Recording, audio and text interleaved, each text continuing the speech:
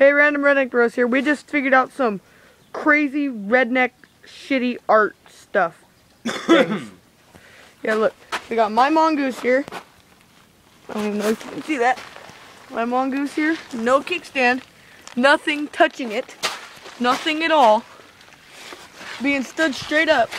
And look, I didn't want to ride the monkey bike today because last time I rode it, I crashed it. So, um, I borrowed my neighbor's bike. And look, no kickstand, nothing touching it other than right here on the handlebars. The handlebars. Yeah, they're holding each other up.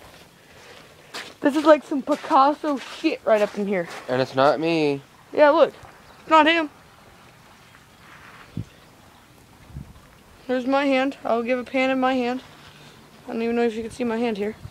But yeah. So, um, yeah, we're going downtown. We'll probably be making more videos. Since I got a bigger bike, I can record and ride at the same time. And, um, peace.